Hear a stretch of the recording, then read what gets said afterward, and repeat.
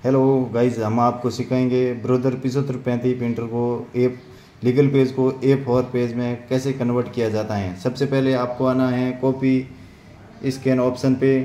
इसके आने के बाद इन लॉग रेड्यूस पे क्लिक करना है, फिर ओके करना है। ओके करने के बाद यहाँ से सेलेक्ट करना है लीगल से ए फोर कन्वर्ट हाँ ये ये कन्वर्ट करने के बाद फिर ओके करना है।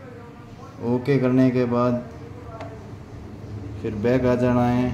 बैग आने के बाद हम रखेंगे एडीएफ में लीगल फ़ेज़ लीगल फ़ेज़ रखने के बाद आना है। सबसे पहले स्टार्ट बटन ये बटन दबाते हैं। तो हमारा legal phase A four page में कन्वर्ट हो जाता है।